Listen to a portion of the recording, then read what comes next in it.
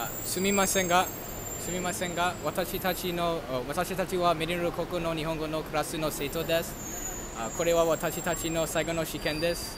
ちょっと質問してもいいですか？はい。ありがとうございます。あ録画してもいいですか？えありがとうございます。ハワイは初めてですか？二回目。あ、そうですか。あ。お、あ、そうですか。あハワイはどう思いますか？暑い。あ、そうですか。あ、日本どこ 日本どこから来ましたか？日本群馬。群馬。あ、群馬ですか。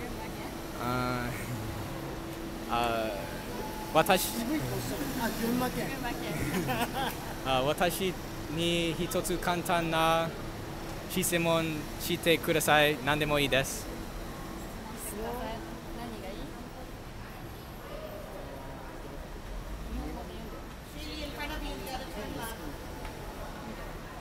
日本の日本食で一番好きな食べ物。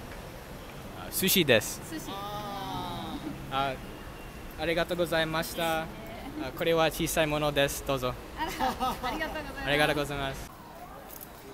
すみませんが、すみませんが、はい、すみませんが、私たちあはメリノル国の日本語のクラスの生徒です。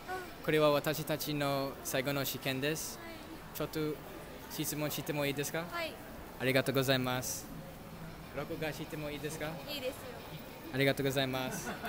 ハワイは初めてですか？初めてです。あ、そうですか。あハワイはどう思いますか？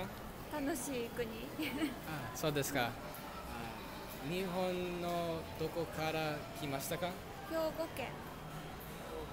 神戸。神戸。神戸ですかあ、うん、私に一つ簡単なしてください。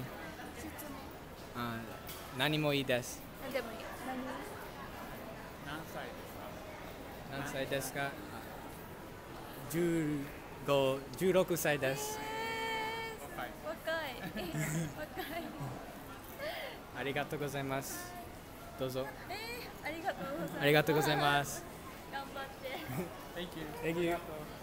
ああ私たちはメリノル高校の日本語のクラスの生徒です、あこれは私たちの最後の試験です。